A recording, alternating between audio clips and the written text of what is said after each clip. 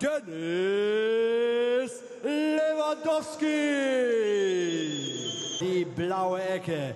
WBO-Weltmeister und IBO-Weltmeister im Cruisergewicht aus Berlin. Marco Captain Hu. Das ist die geballte Ladung Schwergewicht. Marco Huck dominiert die erste Runde dieses Kampfes. Körperkopf, was wir geübt haben. Komm. Ja, Ja, die rechte mal durch, durch die Doppeldeckung von Lewandowski und Huck will nachsetzen. Jetzt könnte es eng werden für Lewandowski.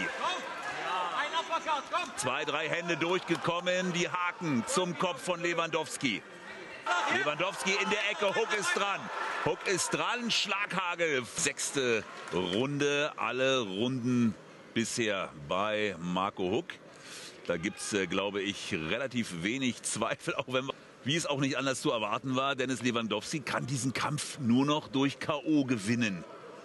Nach Punkten geht hier nichts mehr. Schauen Sie sich das an. So sieht das aus. Marco Huck wartet auf die Möglichkeit, dass genau. na, schlägt die Kombinationen. Die Doppeldeckung von Lewandowski ist oben.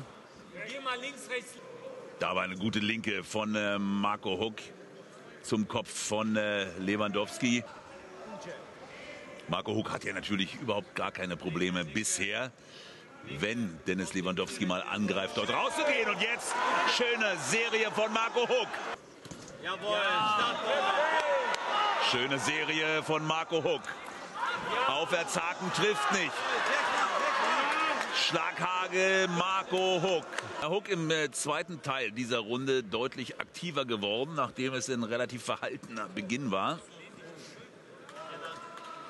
Einige Kopftreffer hier, Körpertreffer dazu. Und wieder, komm. Ja. Marco Huck behält hier die Initiative. Deckt seinen Gegner da mit Schlägen ein. Und jetzt ist dieser Kampf vorbei. Marco Captain Hook ist zurück. Back to the top. So das Motto dieses Kampfes. Das wird ein klarer, unumstrittener Punktsieg werden gegen Dennis Lewandowski. Marco Huck, der Ex-Champion, hat diesen Kampf hier klar dominiert. Er hat jede einzelne Runde gewonnen. Alle drei Punktrichter werteten den Kampf 100 zu 90.